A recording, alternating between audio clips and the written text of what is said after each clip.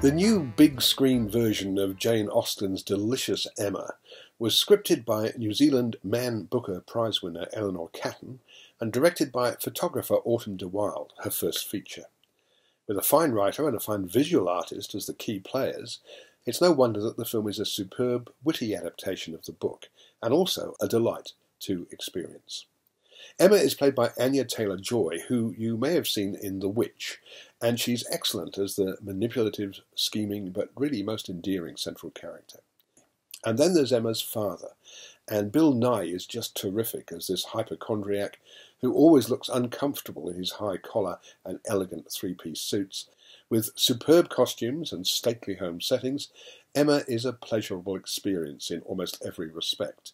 It's a shade too long, perhaps, but so engaging that the leisurely pacing doesn't matter much in the scheme of things, and I'm giving Emma four stars.